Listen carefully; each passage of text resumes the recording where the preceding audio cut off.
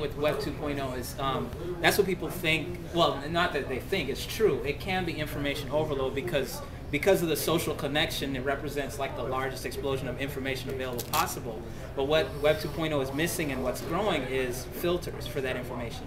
If you can find filters like TweetDeck or Google Alerts and apply it to social media, now you get the real power. Like I'm on so I'm on Twitter and stuff like minutes a day, but I guarantee you I know anything there is to know about my market.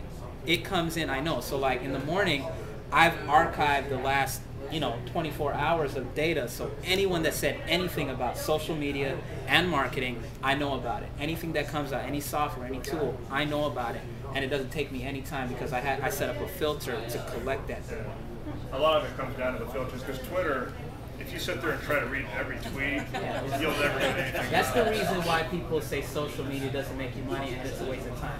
It doesn't make you money and it is a waste of time. But if you set up the right filters and you tap into the power, you're dangerous. No one can stop you.